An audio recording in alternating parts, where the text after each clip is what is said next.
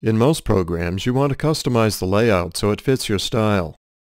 In Alibre design, you can change the toolbar locations, create custom toolbars, and create custom color schemes. When creating toolbars, the icons shown are dependent upon which workspace you are in.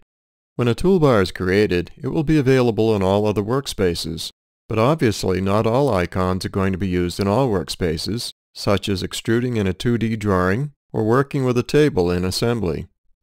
Not all functions are available, but the vast majority are. Default toolbars cannot be edited.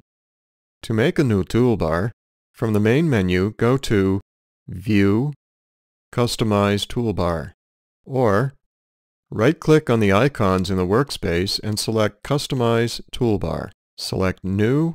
In the New Custom Toolbar dialog box, type in a meaningful name for your new toolbar. You can copy it from an existing toolbar if you just want to make some minor modifications. Select the categories that you want to select the icons from. You can use icons from several different categories. Select the item you want and click Add. So you do not have multiple instances of the same icon in the same toolbar, once it is selected, it will be removed from the Available Toolbar column and will be added to the Current Toolbar Buttons column. For flyouts, first add a flyout. Note, you cannot have nested flyouts. Highlight the flyout in the right-hand column. Select the icon in the left-hand column and select Add to Flyout. A color scheme is much more than the background color. It includes all the various colors of every single item and action in Alibre design, including sketch grid color, 3D sketch nodes, reference planes, annotations, background, everything, all under one color scheme name. When you create a new color scheme, you name it, change any and all colors you wish to, and save it. What you have then is a large group of settings all under one name.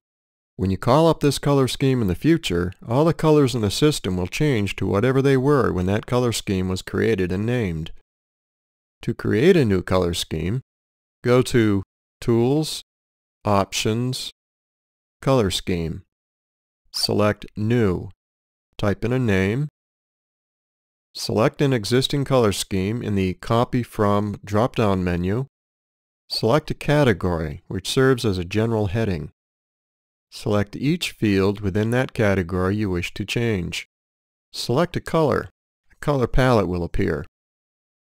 And note, a solid background color is achieved by selecting the same color for the top and bottom fields. When you're finished with the fields in that category, you can repeat the process by selecting another category if desired. When you're all set, click OK to save and apply the new color scheme. Alibre Design's user preferences and settings are retained in Microsoft Windows.NET profile. In order to follow the steps on this screen and access the files that are described, you must have the Microsoft Windows folder option, Show Hidden Files and Options, active. Please look up the term Hidden Files in the Windows Help System for further assistance if needed.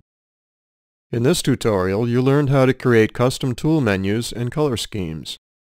You also learned where these settings are stored so you can create a backup of these settings.